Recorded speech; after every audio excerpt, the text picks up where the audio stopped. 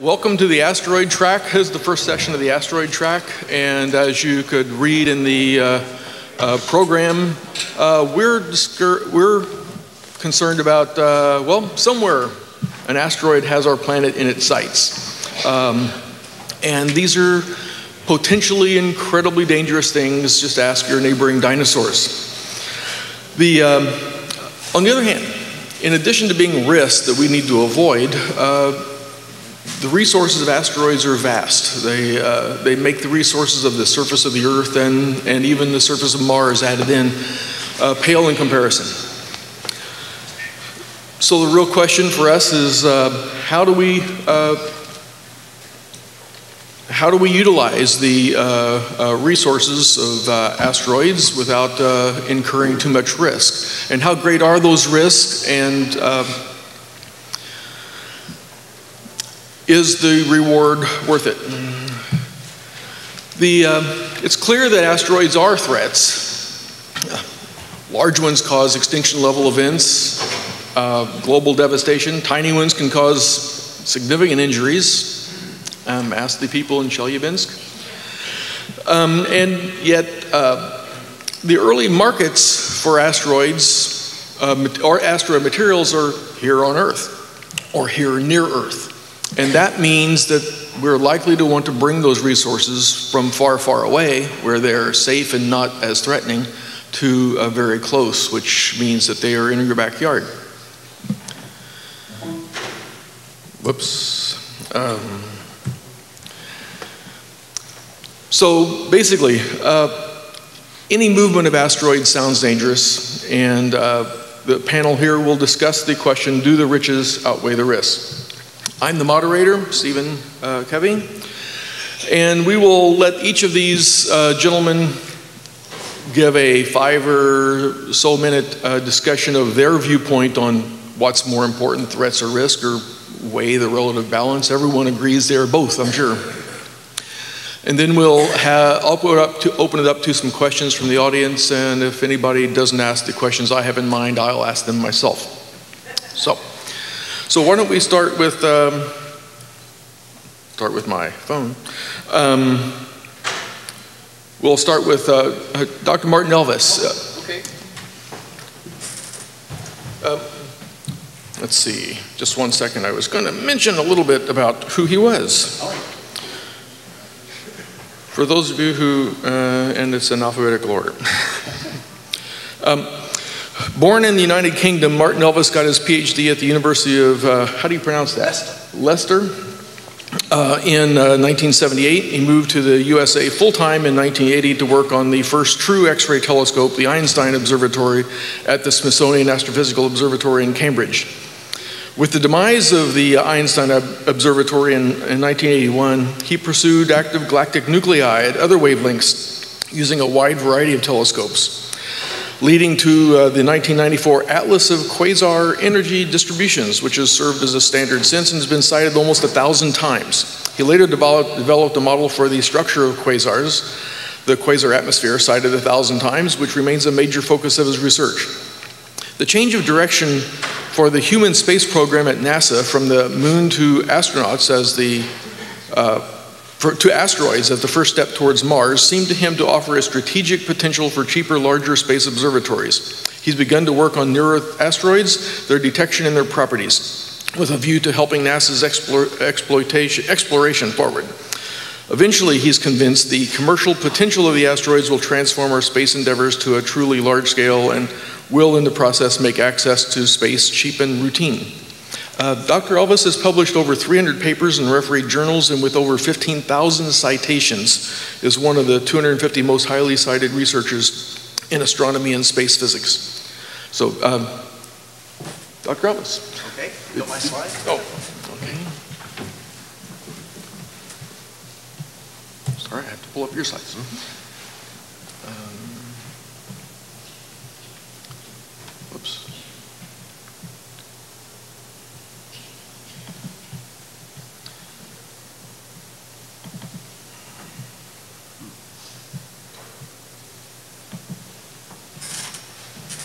Well, thank you. Yeah, I'm, uh, whoops, got to say uh, that Harvard Smithsonian Center for Astrophysics tag is just to give me some street creds with you guys.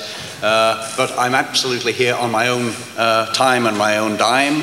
Uh, because I often tend to say things at this kind of meeting that are seriously not Smithsonian policy. So I'm not speaking for the Smithsonian what at all. Uh, I thought I'd be ending one of the later speakers, so I thought I'd better think of something that would not be covered by other people. So uh, the choice we have is it um, a threat or a resource? Are asteroids threats or resources? The answer is it's, it's a false dichotomy. Uh, they are both. Uh, and I think we need the having the resources will help us uh, deal with the space threat. But I thought I'd tell you a little about other resources that, you, that exist in, that may exist in asteroids that we haven't heard much about. Everyone talks about mining the water for fuel and life support, and about the uh, precious metals like the platinum group metals uh, because they're so valuable per, per, per gram. But uh, I, there are other possibilities, and those, uh, as an academic, long-term academic, I think there's a lot of research to be done uh, if we can get hold of bulk, bulk samples of asteroids. So I had a uh, talking, when I started talking about this, a student asked me, uh, well, do you think there could be strange uh, new materials on asteroids uh, like unobtainium from the movie Avatar? And of course I was like, well, professorial, oh, come sonny boy, you know, you know nothing, right? of course not. Uh, but I think I was wrong and that the student was right to be open-minded uh, because there are possibilities. You may have heard of quasi-crystals. This is a kind of crystal which doesn't have a simple repeating pattern but has a much more complex structure, just like the uh, Arabic tiling that you find in, in some of those fine palaces. This is from the Alhambra. These were theoretical ideas. No one knew if they could really exist. Um, but they were found. Sorry, it's, it's coming on and off for some reason. Anyway, let me go back. There we go. Uh, but uh, they were found in the lab by Dan Shechtman, who got the Nobel Prize for this discovery in 2011. And uh, so that's a fairly big deal. Uh, but uh, someone else who was involved in coming up with the idea wondered if not only you could find these things in the lab, but do quasi-crystals occur naturally in, in, the, in the Earth's rocks? And so he instituted a search, and after thousands and thousands of samples were x-rayed, to look at their crystallographic patterns, you see bottom left there, uh, they came up with just one example of a quasi-crystal occurring in the wild. And after much uh, very interesting adventures, going to the easternmost parts of Russia, very inhospitable places, they came across a bunch more samples of this rock, and it turned out they're meteorites. So, of all the rocks on Earth, you find none that create quasi-crystals unless they come to us from space. So there could be materials like this that form in space and not on Earth. Also, there are uh, complex molecules that form only in space. Uh, this is a piece of the uh, Murchison meteorite, which landed in, in Australia in 1969. And it's very black and it feels like rock, chunk of rock. But um, Glenn MacPherson, who curates the collection at the Smithsonian of this meteorite, he says if you take a fresh slice of it and smell it, it smells like tar, right? Like asphalt. And so that tells you how rich in organic materials uh, these asteroids can be. These are the carbonaceous asteroids, right? And among those uh, materials could also be many things that we do not make on Earth. Uh, for instance, this is a rare amino acid, isovaline, which this report suggests is useful in suppressing epileptic fits. There could be medically useful materials that we find in space. Maybe we can later synthesize them on Earth, but they may be naturally occurring in, in asteroids, and uh, we will find them by going through and getting large samples of asteroidal material, we may be able to find it.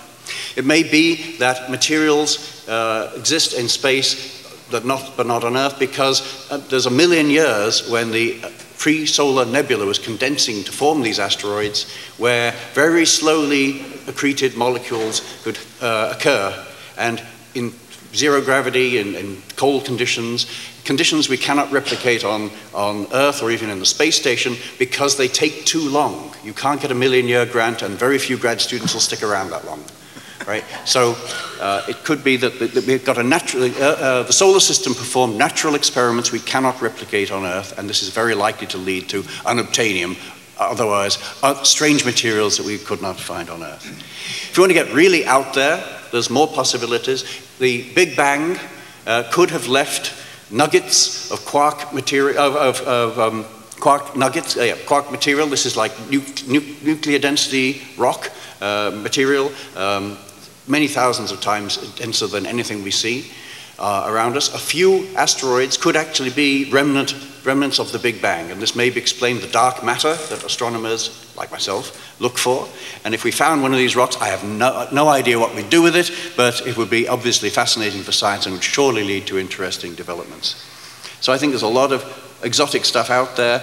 Uh, I would love to see us uh, take scientific measurements of large numbers of uh, asteroids in bulk. I was very keen on the asteroid retrieval mission, which is, I was on the first Keck study proposing this, bringing an asteroid back from its solar orbit to somewhere around cislunar space, so it's between the Earth and the Moon somewhere, so we can study it in bulk. 500 tons of material allows you to do much more than 50 uh, grams, which is what, 60 grams, which is what the first uh, sample return mission will bring back. It's very qualitatively different. So I think there's a lot of resources we don't even know about yet, and so I'm coming down more on the resources and the risk side. Thank you.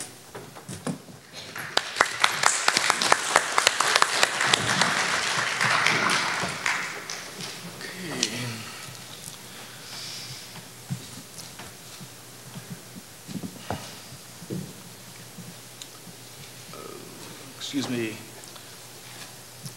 Um, next, uh, the next speaker, we're in clever alphabetical order, will be um, Stephen Kortenkamp, uh, senior scientist at the Planetary Science Institute. He, um, uh, Steve Kortenkamp uh, is in Tucson, Arizona, so he's not too far away.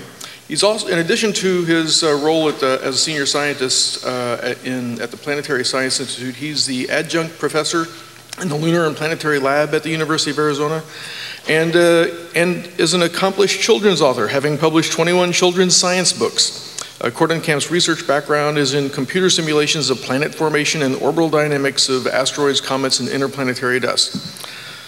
So, uh, Stephen? Let's see.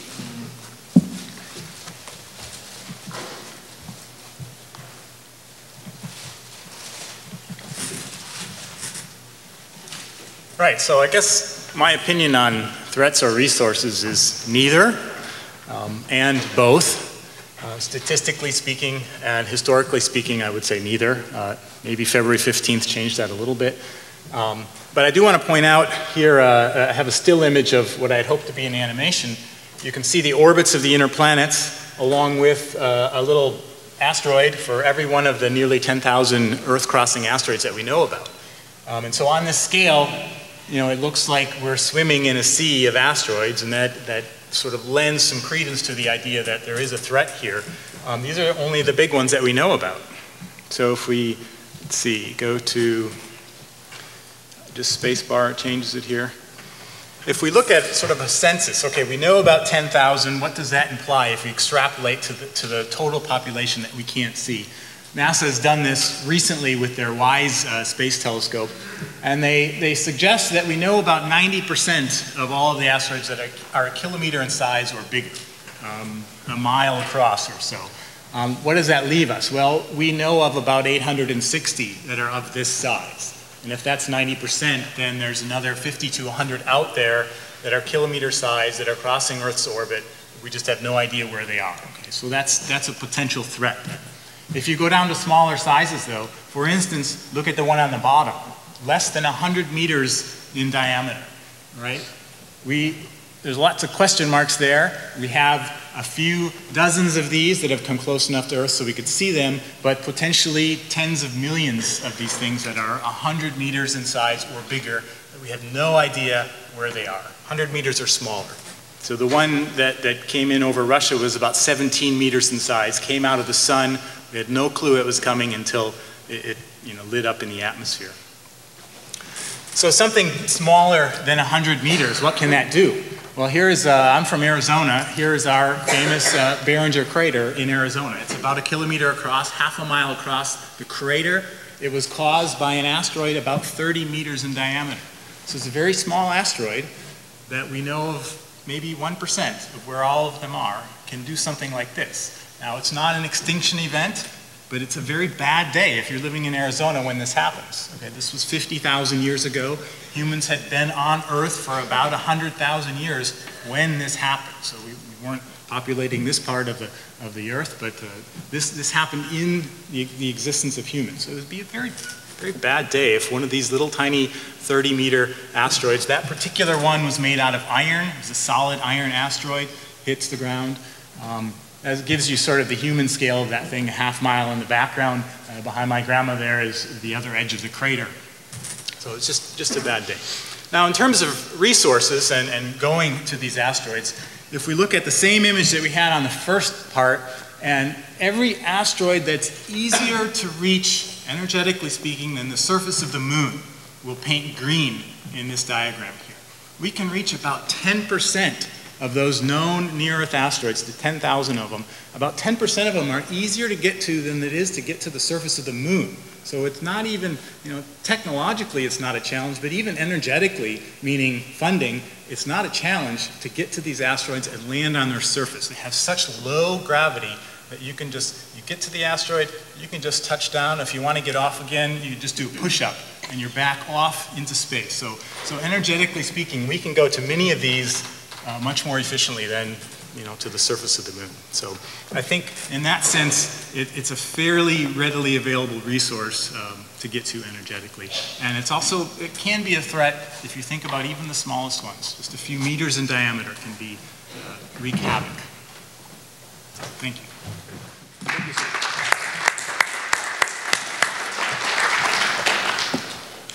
See, next in alphabetical order is uh, Mark Sonter. Uh, ooh, where's my slide?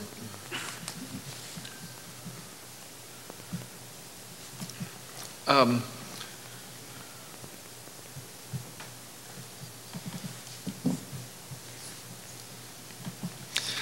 let's see. Uh, Mark is uh, Director of uh, Mining and Processing for Deep Space Industries.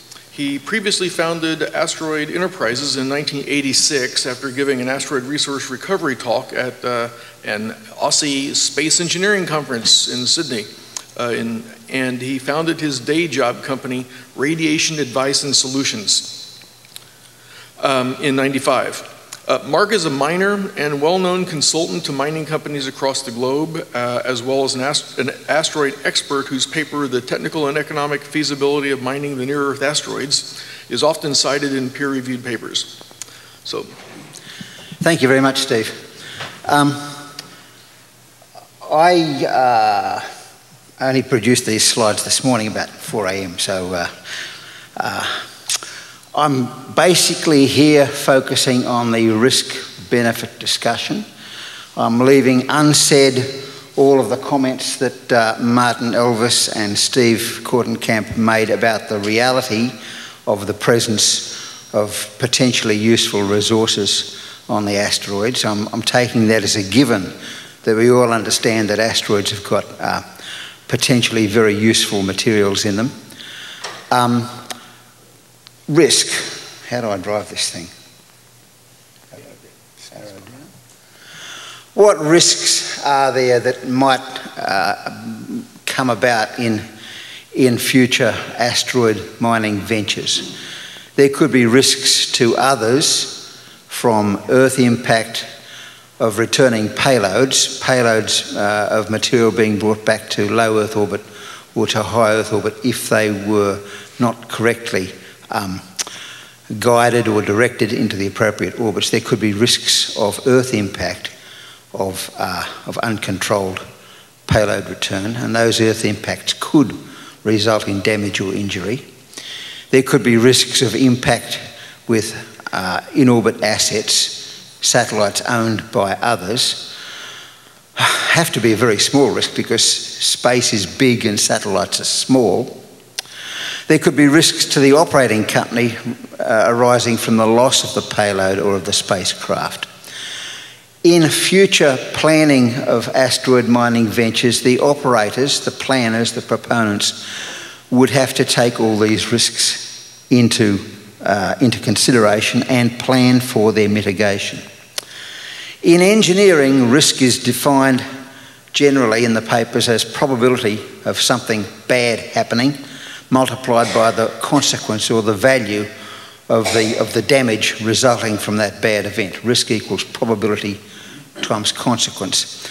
And that can be estimated using failure mode and effect analysis, event tree analysis, tools that are very uh, well known to aerospace engineers and nuclear engineers. And we can get an assessment of probability of, of uh, a, a, misdirected uh, return by looking at statistics of events. How often do, do spacecraft get misdirected or does something go wrong with the guidance? It is clear that those of us that want to set up an asteroid mining venture will have to, will be required to quantify these risks and manage them, to do whatever is needed to, to mitigate them, and we'll have to justify our chosen mitigation methods. Much as we might like to be uh, pirates out in the, in, the, in, in, in, the, in, the, in the black depths of space with no legal controls, there will clearly be legal controls that we'll have to comply with. And there is a societal perception uh, requirement as well. Not only do we have to fulfill engineering requirements, we will have to fulfill societal perception requirements. And there's a, there's a well-known author and advisor to large corporations, a fellow by the name of Peter Sandman, who talks about what happens when, when, when the public becomes outraged by some proposed uh, or some uh, uh actual accidental event that's been that's been foisted on them by, by, by uh, uh, an unfeeling corporation. Peter Sandman says that risk is hazard times outrage, and he means that in a sort of a sociological sense rather than a mathematical engineering sense. But his point is that engineering corporations, corporations wishing to do things, corporations wishing to propose uh, activities have to manage social acceptability of the risks that those proposals entail, as well as manage the engineering risks. And there are examples one could, one could bring up from the mining industry of, of, of things that have gone wrong, and, and basically a project gets shut down not by uh, an engineering shortfall, but by a social and political shortfall situation. In terrestrial mining projects, almost the first thing that gets discussed and considered is, in fact, risk. At the very earliest stages of a project concept study, risk is an important uh, uh, consideration. About a month ago, I was a member of a, of a, of a kick-off meeting for a pre-feasibility study for a large proposed underground copper mine in Australia, a new proposal. The very first item on the agenda of this very first meeting of all the external consultants and the principal and the primary engineering consultant, the very first meeting for the pre-feasibility study, the very first topic was risk. And the very first requirement was, uh, let's look at this draft risk register that our consultant has made up, and we'll use this and try and expand on it, see what we throw into it. The risk register was almost the first thing. It was the first thing on, on the do list.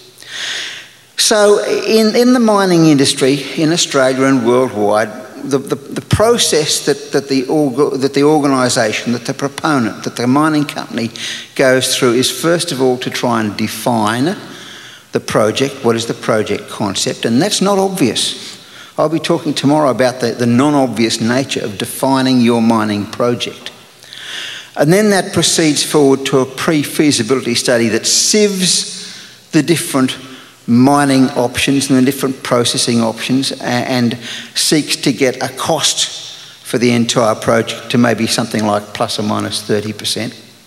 And then that begins, if that, if that passes muster, if that PFS gets accepted by the company board as indicating that the, that the project may well be viable, then the, pro, then the, then the, the company board will, will, will, will, um, press the go button on two further studies. The environmental impact study, which is about what? Guess what? Risk.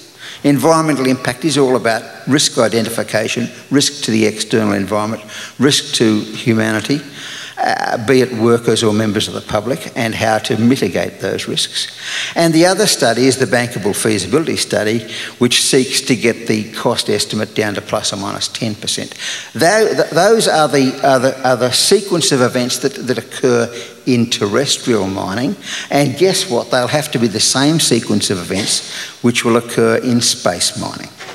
And I just need to point out that the EIS, the Environmental Impact Study, and the BFS, the Bankable Feasibility Study, need to be regarded almost as conjoined twins. Both have to proceed through together because if the EIS finds some previously unidentified hazard that has to be controlled, that feeds back to the cost implications in the bankable feasibility study. So the two are joined at the hip a project cannot proceed forward unless both the EIS and the BFS uh, basically give it a tick. The same logic is going to apply in asteroid mining.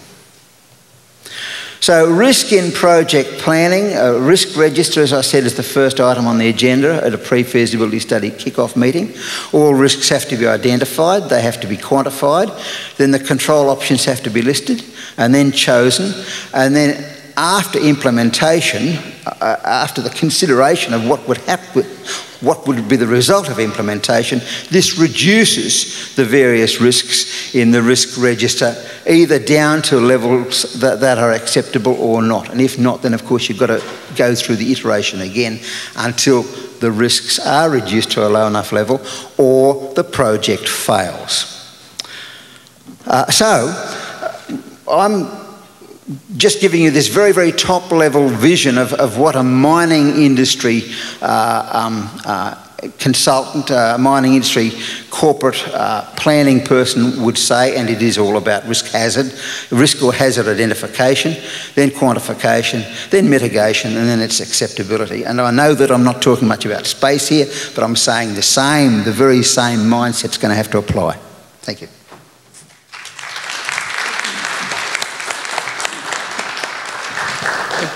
Thank you, Mark. Um, our uh, next speaker is uh, Dr. Bong Wie. Let's see, well, find, find my.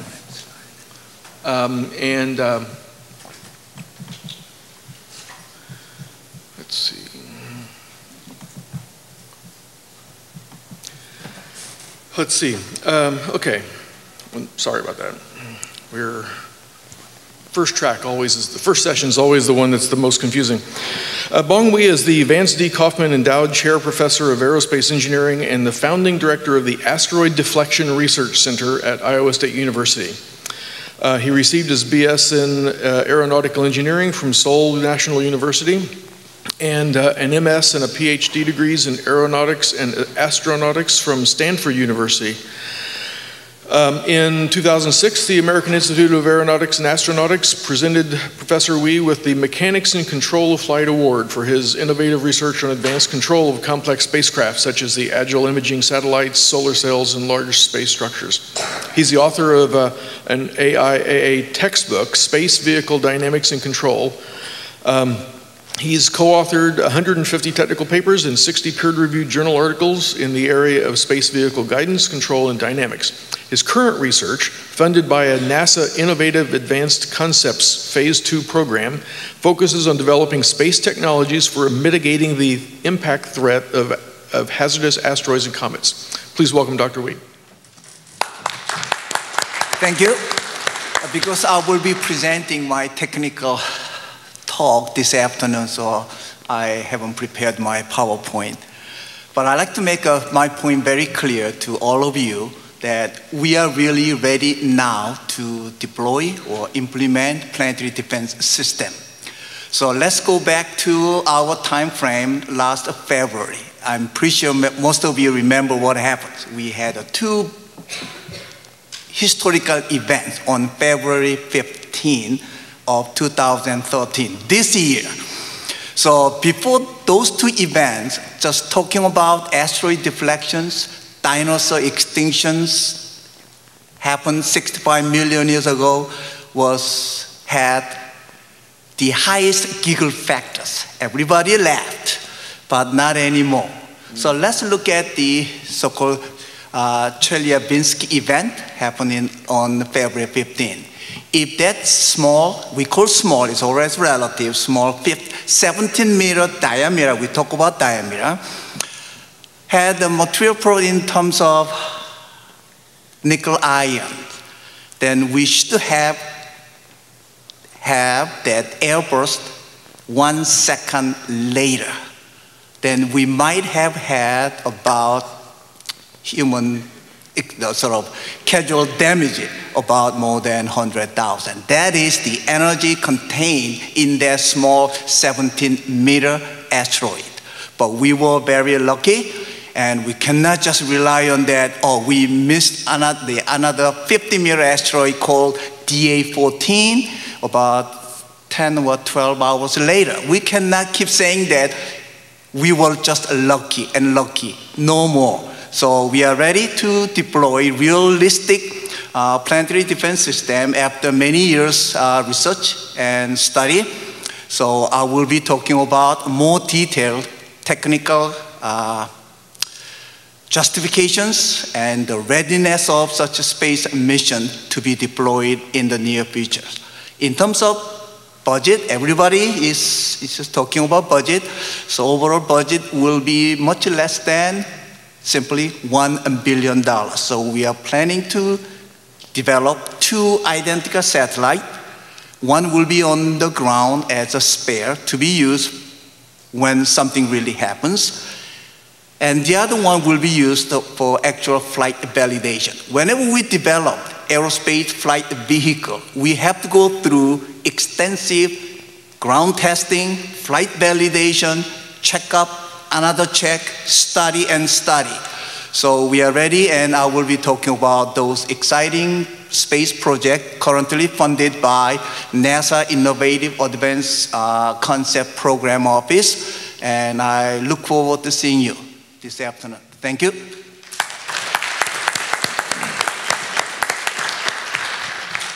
Thank you. Um, well, it's time for some questions. Do we have any initial audience questions? And we have a micro microphone that uh, set up right there in the middle? Please line up and uh, ask away. Good morning. My name's Joe Rauscher. I'm a volunteer at NAS, NSS headquarters, um, and I've recently volunteered to facilitate finding funding opportunities for projects that we've heard about this morning.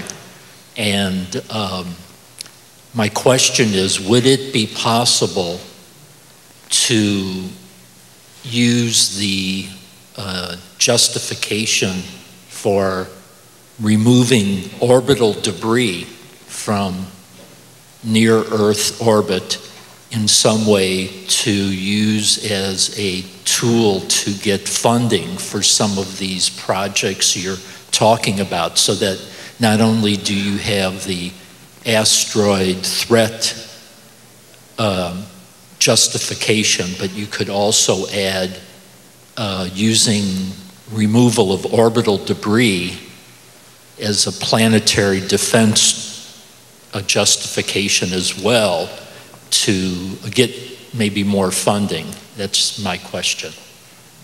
For uh, Stephen. Okay. This Stephen?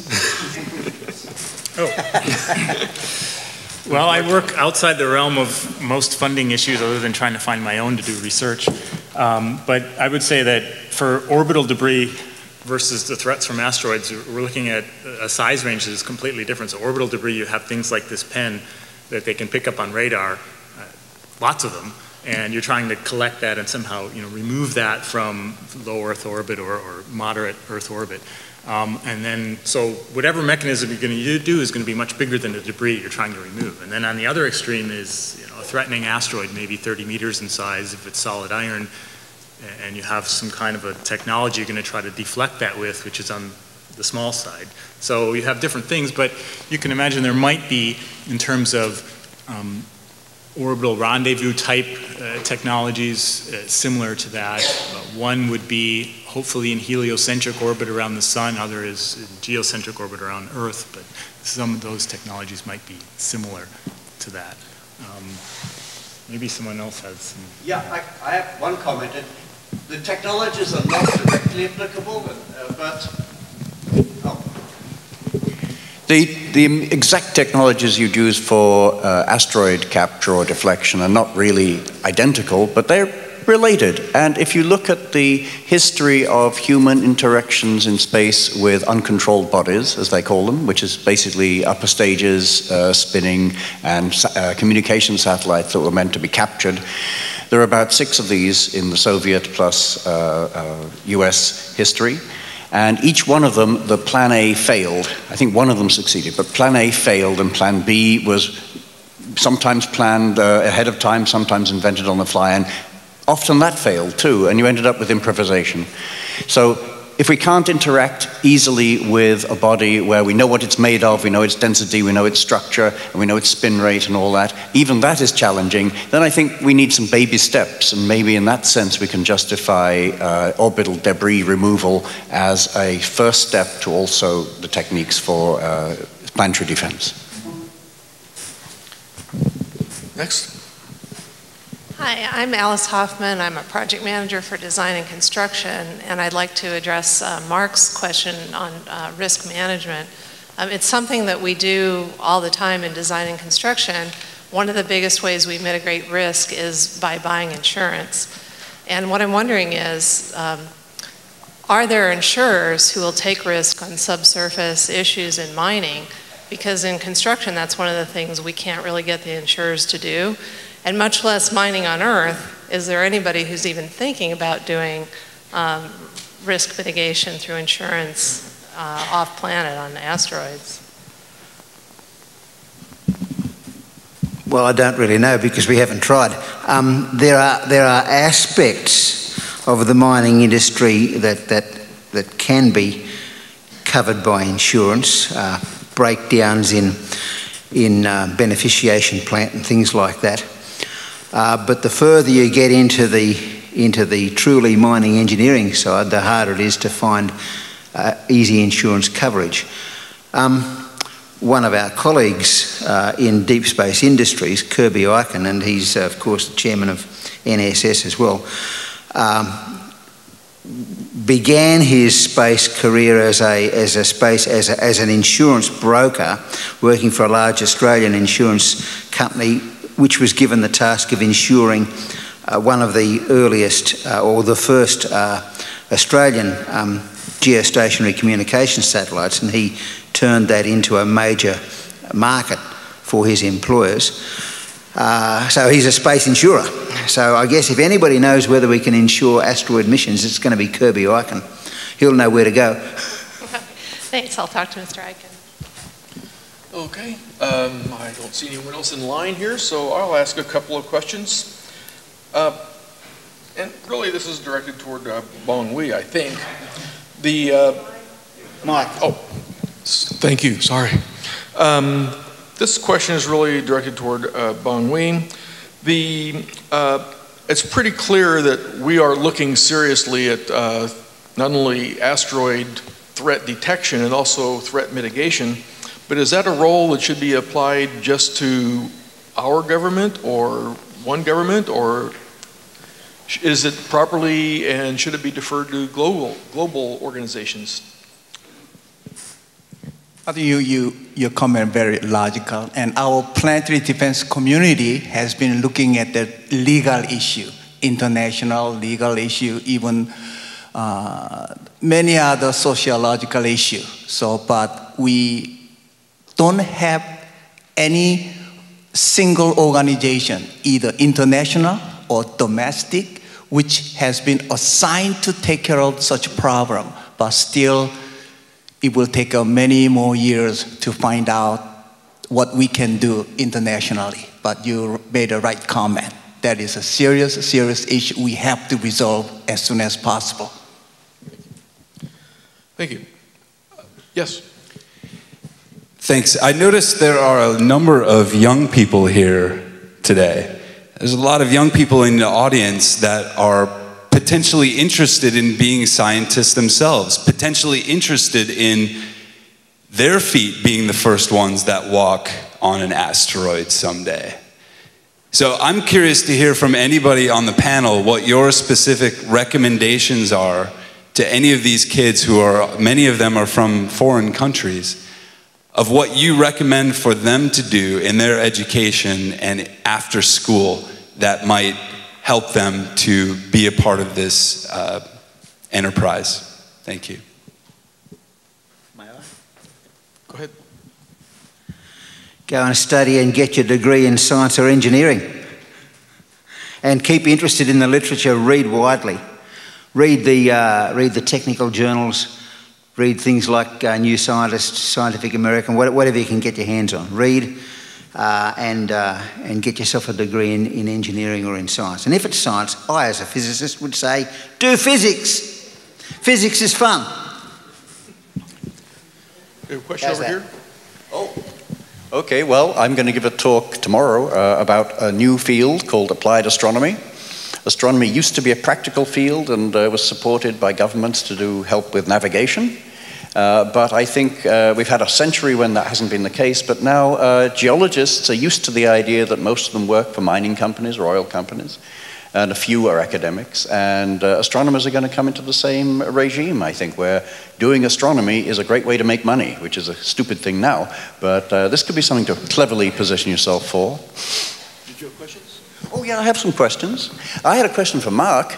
Uh, uh, in, on Earth, your tailings, they stay put. Uh, in, in orbit, if you just let the tailings go, which are many times the mass of the material you want to bring home, uh, they're just going to spread out around the original orbit of the NEO, of the near Earth object, and uh, you may have an insurance risk there. Well, but what if you don't have any tailings? What if everything is useful? And I suspect that when we, not if, when, how's that? I suspect that when we start retrieving asteroid resources, we'll find use for everything that we collect. So there won't be no tailings, Martin. Silly me. Okay. Uh, I have one last question for myself, since we're about time out. Uh, and it's really directed to the uh, three educators on the board. It's an education question. And that is Is there any real hope that we can educate the vast majority of the Earth's population um, that uh, asteroid exploitation, exploitation might be considered uh, valuable enough to be worth the risk for people who might view themselves as not having a chance of getting a reward? Well, Me? oh, yes, Mark. As an ex educator, I say yes. Um, the general populace isn't stupid if they're given information in a clear manner. Uh, a, a, lot of uh, w- w- what passes as ignorance and what is ignorance uh, arises from uh, media that doesn't present clear information, I think. And uh, I've been fascinated by the number of the colleagues of my daughters who are in the, their 20s and 30s who express great interest in the sort of stuff that we're doing. And whether they're of a science uh, background or uh, uh, a non science background or whether their education is at a high level or low level, they, they, they, they fairly readily and rapidly pick up the general story that people like us have to tell. So, yes, I think, I think education is possible. Of course, I think education is possible. I spent seven years as an educator before I moved into the mining industry. And I think that there's, a, there's great potential for people to pick up the story and, and understand it and run with it. I have a comment on some of the question on the educational aspect. Until 2006, about what six, seven years ago, I didn't know anything about planetary defense. I didn't know anything about the NEO. Still, I don't know the difference between asteroid and comet. I cannot explain. But 2006, I attended a conference like this, and I was sitting over there. And this topic was so fascinating. During the last six years, I fully, I am concentrating on my professional career on this problem. So I strongly recommend whether you are in the high school or in the, the, the young generations, you have a great future to apply your engineering and science educational background to this, not just asteroid deflection, planet defense, asteroid mining, and interplanetary mission design, or basically you're applying your calculus, differential equation, all kinds of science. So I strongly recommend to be in this field. Thank you. You know, Uh, just- Unfortunately, we really don't just, have any uh, time for more questions. Um, We, one more, oh, okay, one last comment. I like to I like to use the education part to turn it around to use the space science to excite people about other aspects of education. You can use uh, meteorites to te- teach children about densities. You can use them to teach them about chemistry. You can use astronomy to teach things about physics, um, engineering, things like that. So you can use this very exciting concept of space science to teach kids all sorts of different types of science and mathematics and chemistry and even biology nowadays with astrobiology going on. And so rather than try to teach them space science, use space science, which they always get wide eyed about, to teach them about everything else because it's all interconnected. Um, Thank you. Um, I, I applaud the comment the young man made about all the young people and students. Just two thoughts.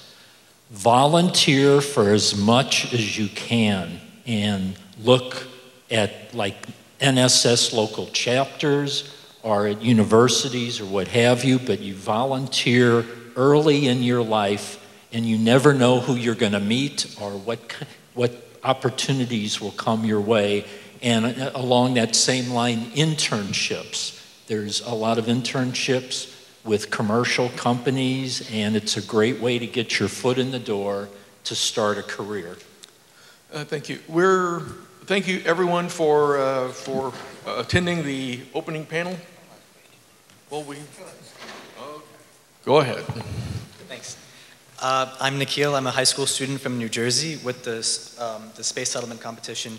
And I'm one of the students that the previous gentleman mentioned were interested in asteroid mining. Uh, last, last summer, I did an internship at Columbia University on asteroid research, working, um, I'm, we're designing an experiment to see uh, how solar wind and cosmic ray impacts uh, affect the surface structure of these asteroids and uh, basically space weathering, how it's changed their reflective properties, and how you can actually mistake asteroids but, but for like what, what the composition is because the spectral signature could uh, make it look like it's a different type of asteroid.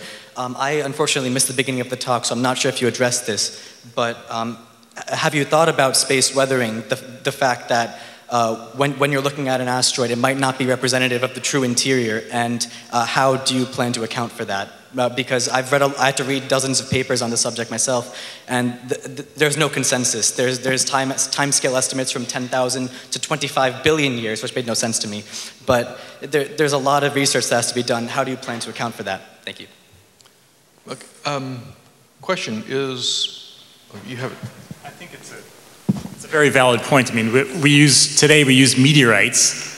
We have them in our hands to try to determine what the asteroids are made of. And it's, it's sometimes very difficult to link the meteorites with the spectra that we see of the asteroids. And many people think that's because of space weathering. And so we'd really like to have uh, an example where we've gone to an asteroid, landed on the surface, took a piece of it, brought it back, and say, oh, okay, so that's, that's what you know, we have going on here.